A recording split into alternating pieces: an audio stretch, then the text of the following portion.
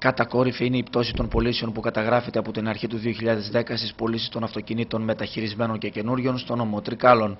Οι τρικαλινοί έμποροι αυτοκινήτων και οι αντιπρόσωποι αντιμετωπίζουν τεράστια προβλήματα και σύμφωνα με τα επίσημα στοιχεία, η πρωτοφανής πτώση αγγίζει τα επίπεδα του 60% σε σχέση με τα τελευταία δύο χρόνια. Οι οικονομικοί παράγοντες είναι αυτοί οι οποίοι μπορούν να αλλάξουν κάπως την κατάσταση. Και όταν εννοώ οικονομικούς παράγοντες, εννοώ τις τράπεζες οι οποίες ε, θα πρέπει να χρηματοδοτήσουν τα αυτοκίνητα.